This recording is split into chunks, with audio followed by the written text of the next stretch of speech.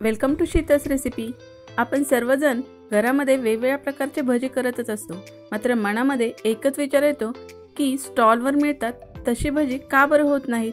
आज आपण अशी स्टॉलवर मिळणारी अगदी सेम टू सेम कमी तेलकट अशी बटाटा भजी कशी बनवायची ते पाहणार आहोत.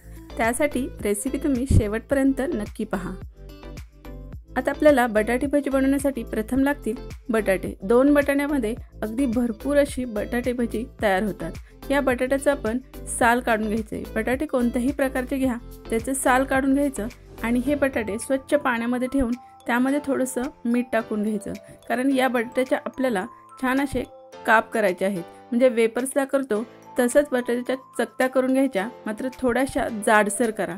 कारण वेपर्स आपण खूप पातळ करतो ह्या थोड्याशा अशा जाडसर हव्यात. म्हणजे ह्याची भाजी छान अशी आपल्याला सोडता येतात. आता पीठ भिजवण्यासाठी एक वाटी मी बेसन पीठ घेतलेलं आहे. हे स्वच्छ चाळून घेतलेलं आहे. त्यामध्ये थोडीशी कोथिंबीर टाकली. त्यानंतर थोडासा ओवा टाकला. चवीनुसार यामध्ये मीठ टाकायचं.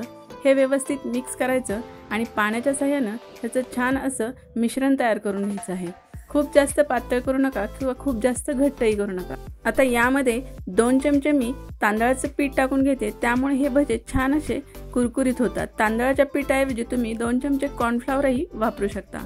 त्यानंतरनं एक टेबलस्पून यामध्ये गरम तेल टाकायचं. म्हणजे हे भजे अगदी छान असे क्रिस्पी होतात आणि सोडा टाकण्याचीही गरज उरत नाही. आपण जे बटाट्याच्या चकत्या केलेल्या आहेत ते यामध्ये डीप करायच्या. खूप जास्त जाडसर यावर थर नाही ठेवायचा आणि आपल्याला या गरम तेलामध्ये डीप फ्राय करून घ्यायचे आहेत.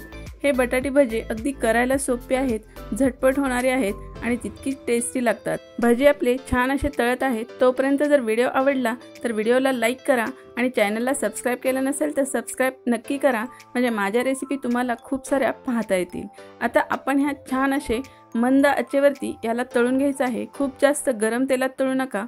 मंद आचेवर तळल्यामुळं हे छान असे क्रिस्पी होतात अगदी कडक कुरकुरीत होतात आणि तेलही कमी पितात. अगदी मस्त अशी कुरकुरीत बटाटा भजी तयार झालेली आहे मात्र त्याबरोबर खाण्यासाठी आपल्याला चटकदार अशी मिरची तर हवी त्यासाठी मिरची घ्यायची त्याला थोडंसं कट करायचं म्हणजे ती उडत नाही आणि तेलामध्ये थोडीशी तळून घ्यायची.